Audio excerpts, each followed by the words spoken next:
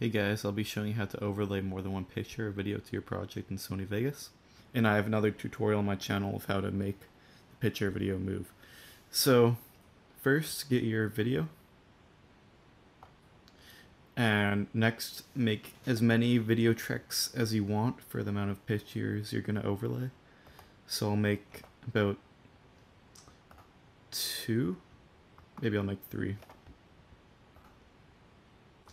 And next, get your picture that you're going to overlay. And I'll just make this full screen so I can see you better. And next, go on pan and crop for your picture. And I'll make it a little bit smaller. And you can put to your top left or bottom right. Doesn't really matter, I'll put it there.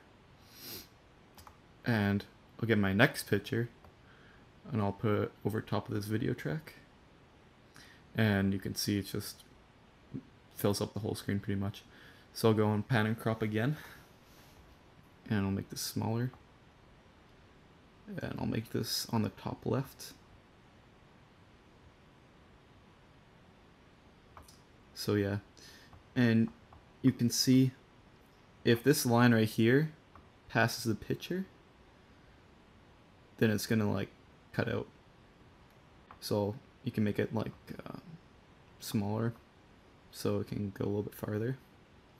And yeah, so that's pretty much it. I hope I helped. And if you want to make these pictures move, you can watch my other tutorial. Thanks for watching.